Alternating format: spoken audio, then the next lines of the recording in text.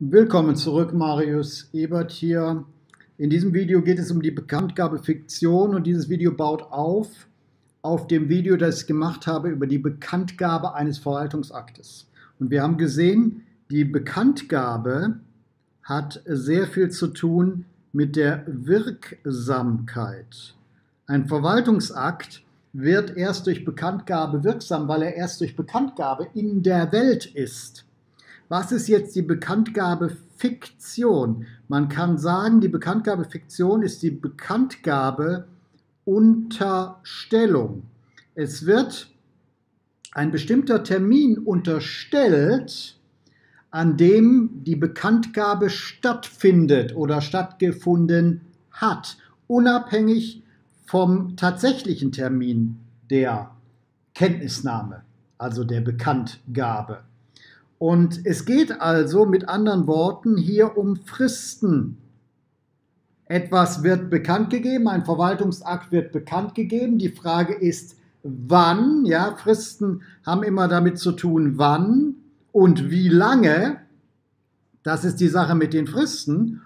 Und hier ist also wichtig, ab wann läuft sozusagen die Frist. Denn die Frist läuft ab dem Zeitpunkt, an dem der Empfänger Kenntnis genommen hat.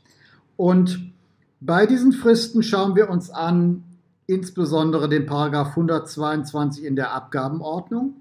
Das ist sicher die praxisrelevanteste Vorschrift für die Bekanntgabe Fiktion. Ich will gar nicht hier auf jede Feinheit im Verwaltungsrecht eingehen, aber der 122 Abgabenordnung ist sehr wichtig. Er unterstellt die Bekanntgabe, er unterstellt die Kenntnisnahme und damit die Bekanntgabe aus Sicht der Verwaltungsbehörde am dritten Tag nach Aufgabe zur Post.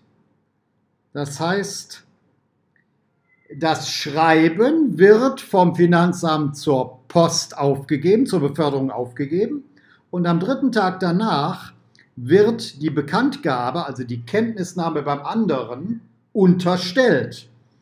Es kann aber sein, dass das Schreiben schon am nächsten Tag da ist. Trotzdem gilt die Fiktion, dass die Bekanntgabe am dritten Tag erfolgt. Ja, also unabhängig von dem, was tatsächlich passiert. Jetzt kann man diese Sache nach Aufgabe der Post, äh, nach Aufgabe zur Post aus Sicht des Adressaten nicht feststellen. Man weiß nicht, wann das Finanzamt die Sache zur Post aufgegeben hat. Das heißt, man, faktisch geht man hier ab dem Datum. Ja, ab dem Datum des Schreibens und man unterstellt hier einfach, dass das am gleichen Tag noch zur Post gebracht wurde. Ab dem dritten Tag nach dem Datum des Schreibens des Finanzamts wird die Bekanntgabe unterstellt, selbst wenn das Schreiben am nächsten Tag schon da war. Das ist hier die wesentliche Sache, die man wissen muss. Weil das Video jetzt so kurz ist, baue ich einen Abstand dahinter, indem ich nochmal erkläre, warum meine Methode so gut funktioniert, wie sie funktioniert. Alles Gute, Marius Ebert. Wie kann man mit meiner Methode so schnell lernen? Mein Name ist Marius Ebert und ich gebe Ihnen eine Erklärung. Nehmen wir an, hier ist die Prüfung P, die Sie anstreben. Und Sie befinden sich auf diesem Weg zu dieser Prüfung P. Diese Prüfung P bezieht sich auf einen Abschluss vor der Industrie- und Handelskammer. Dann müssen Sie auf diesem Weg dahin, also sozusagen vorher, links von dieser gestrichelten Linie, ein paar Arbeiten bewältigen, zwingend. Und diese Arbeiten heißen S, S, L. Was heißt das? Das Erste, was Sie tun müssen, Sie müssen den Lernstoff selektieren. Sie müssen also nach dem Kriterium der Relevanz auswählen, was aus der ganzen Fülle, die Sie in der Regel bekommen, Sie bekommen in der Regel in einem Lehrinstitut nicht zu wenig, sie bekommen zu viel.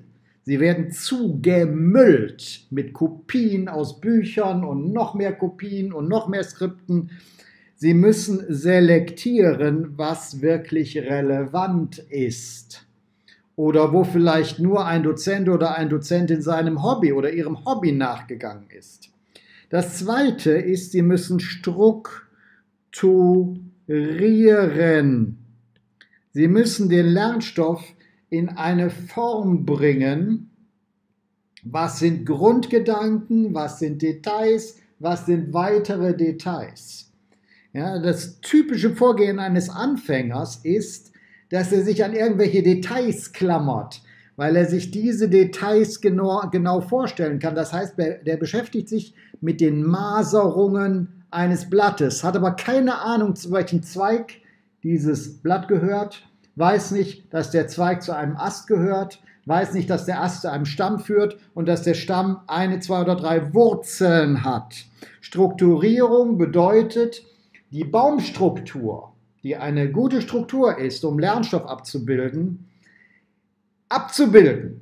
Ja, den Lernstoff also in diese Struktur zu bringen wie ein Baum. Was ist Wurzel? Was ist Stamm? Was sind Zweige? Was sind Äste? Und was sind dann kleinere Äste und was sind dann Blätter?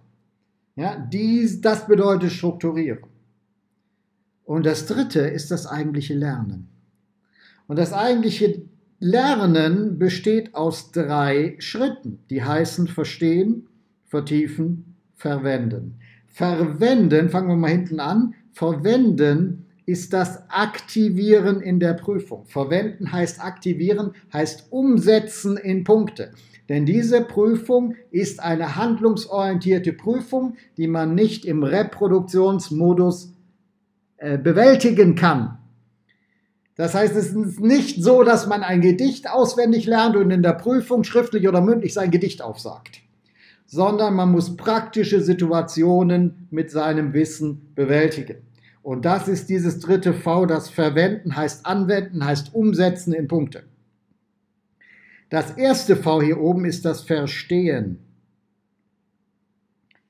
Wenn man vorher strukturiert hat, ist das Verstehen schon erheblich einfacher. Dann weiß man nämlich, man ist hier, man ist in den Maserungen eines Blattes oder man ist hier am Stamm des Baumes oder man ist hier an der Wurzel. Ja, schon das ist wichtig für das Verstehen, um die Zusammenhänge und die Auswirkungen zu sehen. Verstehen.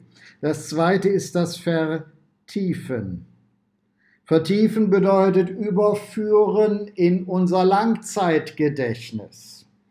Und das dritte, das Verwenden, ist das Aktivieren für die Prüfung. So. Normalerweise müssen Sie auf dem Weg zur Prüfung alle drei Schritte bewältigen. Sie bekommen in einem Fernlehrgangsinstitut oder in einem Präsenzseminar zu viel Material. Nicht zu wenig, zu viel. Sie müssen also selektieren, dann müssen Sie strukturieren. Ja, aber die Dozenten, die haben das doch hoffentlich. Nein, haben sie nicht. Der eine hat ein Skript, der andere hat Folien, der dritte hat gar nichts. Alles passt nicht zueinander, ist nicht aufeinander abgestimmt. Das heißt, Sie müssen selber die Strukturierungsarbeit leisten. Und danach müssen Sie noch lernen, das heißt, diese drei Schritte durchlaufen, verstehen, was Ihnen normalerweise schwerfällt, wenn Sie ein Präsenzseminar oder einen Fernlehrgang besuchen, weil Sie unstrukturiertes und unselektiertes Lernmaterial vor sich haben, aber Sie müssen verstehen, Sie müssen vertiefen und Sie müssen auch das Verwenden, das Aktivieren üben. Der eine muss hier mehr üben, der andere weniger, um P, die Prüfung, schriftlich und mündlich, in der Regel ist eine schriftliche Prüfung auch irgendwo eine mündliche Prüfung, zu bewältigen. Warum ist Marius Ebert mit seiner Methode seit 25 Jahren deutlich schneller als alle anderen, beziehungsweise die Leute, die mit seiner Methode arbeiten? Eine wesentliche Antwort, die ich hier geben kann, ist, Diese beiden Schritte, selektieren und strukturieren, habe ich für Sie gemacht und anderswo wird es nicht gemacht. Und das kann ich grundsätzlich durch die Bank für fast alles sagen, was dort am Markt an Angebot sich befindet. Das Selektieren und das Strukturieren ist beides schon erledigt. Sie brauchen also nur noch das L, Sie brauchen nur noch zu lernen, indem Sie diese drei Schritte äh, durchlaufen. Das Verstehen, das Vertiefen. Zum Vertiefen gibt es Lernhilfen wie Hörbücher, also in dem Fall ein Hörbuch zu dem entsprechenden Abschluss. Und es gibt Lernkarten, die sind im Wesentlichen zum Vertiefen. Zum Verstehen gibt es die Selektion und die Strukturierung, die ist schon passiert. Das ist eine brutale Arbeit. Ja, ich weiß, von was ich rede, aber es ist für Sie gemacht. Das erfolgt heute in Form von Videos und darauf abgestimmten Skripten. Alles aus einer Hand, nämlich aus meiner, alles aufeinander abgestimmt. Wiederholungen an der Stelle, wo es nötig ist und nicht, weil zufällig zwei Dozenten sich überhaupt nicht aufeinander abgestimmt haben. Ja, normalerweise im Präsenzseminar hören Sie manche Sachen dreimal und manche Sachen gar nicht, weil niemand diese sechs, sieben Dozenten, die sich in so einem Lehrgang befinden, koordiniert. Eine Koordination findet nicht statt. Hier bei mir findet eine solche Koordination statt.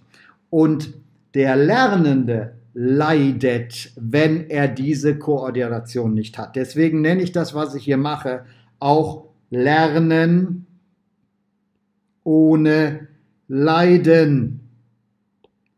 Ja, weil Sie hier anfangen können, Sie können hier einsteigen. Sie müssen das nur noch lernen. Wenn wir sagen, das sind hier zwei Drittel, das ist hier ein Drittel, auch vom Zeitaufwand, vom Energieaufwand ist es hier bei den zwei Dritteln sogar noch mehr. Kostet viel, viel mehr Energie, als einen vorbereiteten Weg zu gehen, wo einem jemand ganz klar zeigt, wir sind hier an der Wurzel, aus der Wurzel ist dieser Stamm entstanden, dann hatten wir hier verschiedene äh, Zweige, dann haben wir Äste, dann haben wir hier Blätter.